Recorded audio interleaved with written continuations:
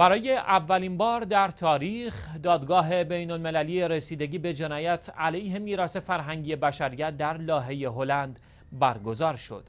به گزارش گاردین احمد المهدی کارمند سابق وزارت آموزش و پرورش کشور آفریقایی مالی که به گروه های تروریستی در این کشور پیوسته بود به جرم دستور تخریب چند بارگاه و مسجد مسلمانان در کشور مالی در لاهه محاکمه شد. این اولین بار است که شخصی به جرم تخریب میراث معنوی و مادی بشر به دادگاه کشانده می شود. لازم به ذکر است تخریب اماکن مسلمانان توسط وهابی ها سابقه ای طولانی دارد که مهمترین آنها تخریب قبرستان بقی در شهر مدینه منور است.